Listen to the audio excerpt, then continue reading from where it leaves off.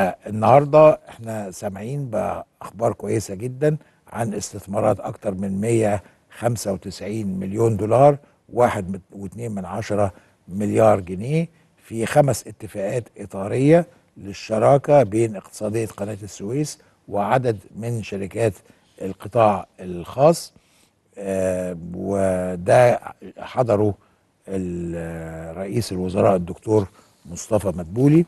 وطبعا حضروا السيد وليد جمال الدين الرئيس الهيئة العامة للمنطقة الاقتصادية لقناة السويس اللي برحب بيه عبر الهاتف. أهلا وسهلا وليد بيه.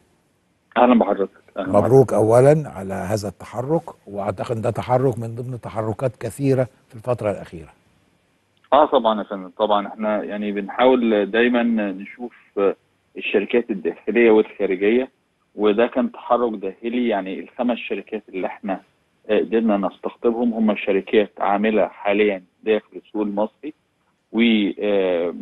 وتحدثنا مع أكثر من 50 شركة وتوصلنا للخمس شركات دول اللي هم عندهم نية للتوسع في بعض المنتجات الضرورية للسوق المصري. بعضهم هيكون في السخنة في منطقة السخنة الصناعية وفي بعضهم هيكون في منطقة الأنطرة غرب اللي هي في الإسماعيلية. نعم. طيب خلينا نقول يعني النهارده أكيد في حوافز بتقدم لهذه الشركات عشان تبقى في المنطقة الاقتصادية. وكنا عارفين إن يعني الحوافز ما زالت من الممكن إنها تبقى أفضل لهذه المنطقة عشان خاطر يعني نعجل بمزيد من الاستثمارات فيها وخصوصا أن العالم حاطط عينه عليها وشايفها لكن مستني مننا إجراءات. هل بدأنا ناخد إجراءات جديدة؟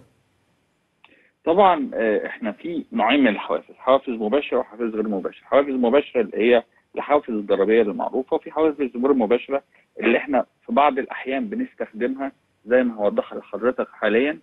إحنا طبعا مقدمين حاليا طلب تعديل قانون المنطقة الاقتصادية لقناة السويس لإضافة بعض الحوافز الإضافية ضريبية أو غير ضريبية عشان تكون المنطقة الاقتصادية أكثر تنافسية مع المناطق الأخرى المثيله في العالم. ولكن الحين ما ده يحصل أو ينتهي منه إحنا طبعا مش واقفين ثابتين فوبالتالي الحوافز داخل المنطقة الاقتصادية جيدة ولكن بنضيف عليها بعض الحوافز الأخرى مثل طبعا اللي أنا هقوله ده يعني شيء يعني بيرجع للمستثمر ولكن إحداهم إن إحنا ممكن ندخل معاه كمنطقة اقتصادية من خلال شركة الاستثمار اللي إحنا كوناها الزراعة الاستثمارية للهيئه بقيمة الأرض كحصه عينيه في بعض المشاريع وبالتالي اقلل له بعض المصاريف الخاصة بتكلفة الأرض.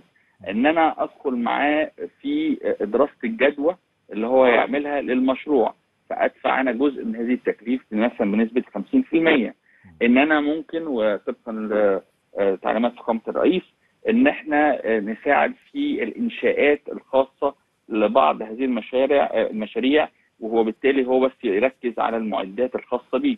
وبالتالي كل الكلام ده وده طبعا كل اللي أنا قلته ده دي حاجة اختيارية. مفيش حاجة هو مجبر عليه وبالتالي كل الحاجات اختار أي حاجة من الحاجات المقدمة أو الثلاثه مع بعض. زي ما هو يعني زي ما هو يحب.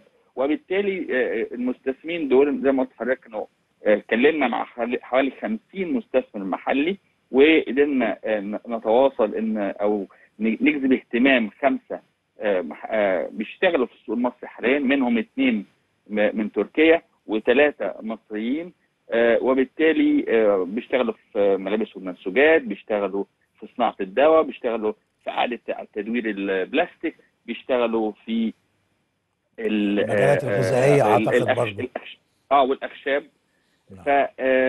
فطبعا ده عمل التنوع وهنقابل في الفترة اللي جاية كمان عدد من الشركات الأخرى التي تعمل داخل مصر ونشوف إزاي يقدروا يعملوا لنا منتجات تحتاجها السوق المصري وبالتالي نقلل الفاتورة الاستيرادية ونوطن بعض الصناعات المهمة.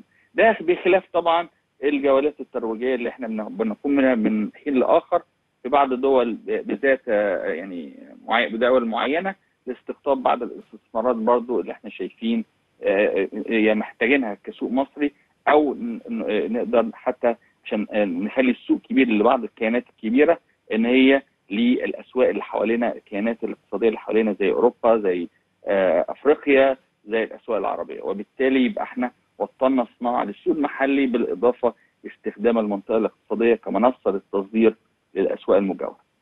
خالص الأمنيات بالتوفيق لحضراتكم في عملكم الدؤوب. المهندس وليد جمال الدين رئيس الهيئة العامة للمنطقة الاقتصادية لقناة السويس. محتاجين كتير من ده كتير قوي ومحتاجين ناس كتير زي المهندس وليد كده والناس المخلصة بفريق عمله اللي بيشتغلوا على إن هم يعملوا حاجة وبسرعة وحاجة كويسة وتبقى معانا مع الزمن.